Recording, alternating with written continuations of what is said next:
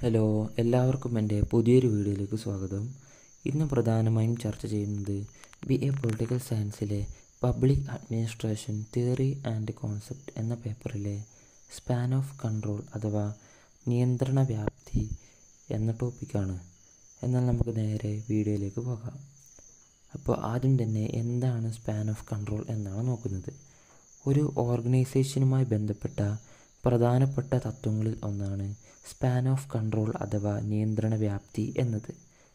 അതായത് ഒരു ഉദ്യോഗസ്ഥന് എത്രമാത്രം കീസ്റ്റാനുകളുടെ പ്രവർത്തനങ്ങളെ കാര്യക്ഷമമായി നിയന്ത്രിക്കുവാൻ സാധിക്കുന്നുവോ അതിനെയാണ് നമുക്ക് സ്പാൻ ഓഫ് കൺട്രോൾ എന്ന് വിളിക്കുന്നത് ഓക്കെ എത്രമാത്രം യൂണിറ്റുകൾ എത്രമാത്രം അംഗങ്ങൾ എന്നിവയെ കാര്യക്ഷമമായി നിയന്ത്രിക്കുവാൻ സാധിക്കും എന്നതിനെ സംബന്ധിച്ച് പൊതുവായ ഒരു അഭിപ്രായം ആർക്കും തന്നെ ഇല്ല.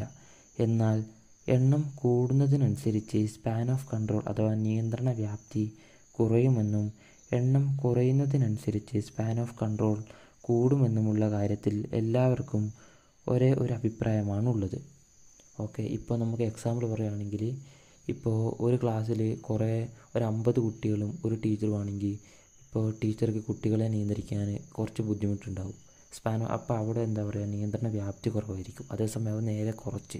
ഇരുപത്തഞ്ച് കുട്ടികളാണെങ്കിൽ ടീച്ചർക്ക് എല്ലാവരും കൃത്യമായിട്ട് ശ്രദ്ധിക്കാൻ സാധിക്കും. അപ്പോൾ ഒന്നും കൂടി നിയന്ത്രണ വ്യാപ്തി കൂടും. ഓക്കെ? അതായത് എണ്ണം കുറയുന്നതനുസരിച്ച് നിയന്ത്രണ വ്യാപ്തി കൂടുകയും എണ്ണം കൂടുന്നതിനനുസരിച്ച് സ്പാൻ ഓഫ് കൺട്രോൾ കുറയുകയും ചെയ്യും എന്നാണ് ഇതിലൂടെ പറയുന്നത്. ഓക്കെ? സ്പാൻ ഓഫ് കൺട്രോൾ കൺട്രോളിന് സ്പാൻ ഓഫ് മാനേജ്മെന്റ് അതുപോലെ തന്നെ span of supervision span of attention തുടങ്ങിയ വിവിധ പേരുകളിൽ നമുക്ക് വിളിക്കാം. ഓക്കെ അപ്പോൾ സ്പാൻ ഓഫ് കൺട്രോൾ ഏതൊക്കെ പേരുകൾ അറിയപ്പെടുന്നുണ്ട്? Span of management span of supervision span of attention തുടങ്ങിയ നിരവധി പേരുകളിൽ സ്പാൻ ഓഫ് കൺട്രോൾ അറിയപ്പെടുന്നുണ്ട്. ഒരാൾക്ക് ഒരു സമയത്ത് ഒന്നിൽ കൂടുതൽ കാര്യങ്ങൾ കാര്യക്ഷമമായി ചെയ്യുവാൻ സാധിക്കുകയില്ല. അതായത് ഇപ്പോൾ ഒരാൾക്ക് ഒന്നിൽ കൂടുതൽ ഒരു സമയത്ത് ഒന്നിൽ കൂടുതൽ കാര്യങ്ങൾ കാര്യങ്ങൾ സ്പാൻ ഓഫ് കൺട്രോൾ ഉണ്ടായിരിക്കുകയില്ല. സ്പാൻ ഓഫ് കൺട്രോളിനെ നിയന്ത്രിക്കുന്ന പ്രധാനപ്പെട്ട ഘടകങ്ങൾ എന്തെല്ലാമാണെന്ന് നമുക്ക് നോക്കാം. ആദ്യത്തേതാണ് ഒരു മാനേജറുടെ കീഴിലുള്ള എല്ലാ തൊഴിലാളികളും ഒരേ ജോലിയാണ് ചെയ്യുന്നത് എങ്കിൽ സ്പാൻ ഓഫ് കൺട്രോൾ കൂടുതലായിരിക്കും. ഓക്കെ ഇപ്പോൾ ഒരു ഓർഗനൈസേഷനിലെ എല്ലാ തൊഴിലാളികളും ഒരു മാനേജർ മാനേജറുടെ കീഴിലാണ് ഒരു കുറേ ആളുകൾ പണിയെടുക്കുന്നത്. അവരെല്ലാം തന്നെ ഒരു തൊഴിലാണ് ചെയ്യുന്നതെങ്കിൽ എന്താ പറയുക സ്പാൻ ഓഫ് കൺട്രോൾ അഥവാ നിയന്ത്രണ വ്യാപ്തി കൂടുതലായിരിക്കും. എല്ലാവരും ഇപ്പോൾ ഒന്ന് ഒന്ന് ഒരു പ്രവൃത്തി തന്നെ ചെയ്യുന്നതാണെങ്കിൽ മാനേജർക്കെല്ലാം തന്നെ കൃത്യമായി നിയന്ത്രിക്കാം. എല്ലാം തന്നെ നോക്കിക്കാണാം.